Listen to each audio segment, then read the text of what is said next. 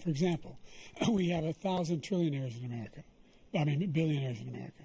And what's happening? They're in a situation where they, in fact, pay 8.2% in taxes. If they just paid 24%, 25%, either one of those numbers, they'd raise $500 million, billion dollars, I should say, in a 10 year period. We'd be able to wipe out his debt. We'd be able to help make sure that all those things we need to do child care, elder care, making sure that we continue to strengthen our health care system, making sure that we're able to make every single solitary person uh, eligible for what I've been able to do with the uh, with, with, with, the COVID.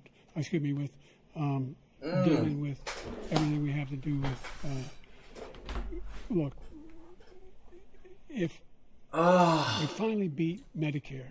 Thank you, President uh, Biden. President Trump. Well, he's right. He did beat Medicare. He beat it to death, and he's destroying Medicare.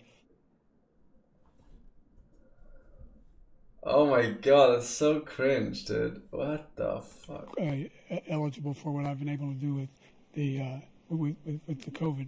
Excuse me, with um, dealing with everything we have to do with. Uh, look, if we finally beat Medicare. Thank you, President uh, Biden. President Trump. Well, he's right. He did beat Medicare. He beat it to death, and he's destroying Medicare. Oh my god, dude. He's old. Yeah, I mean, he is old.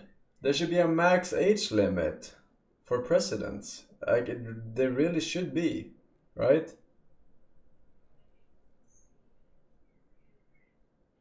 I mean, what the fuck is that?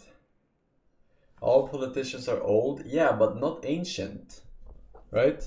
I get it. It takes a long time to go from starting politics to to being the president of US of A, right? But I mean, come on. Literally dementia. Like unironically dementia. That can't be right. Who would vote for this again?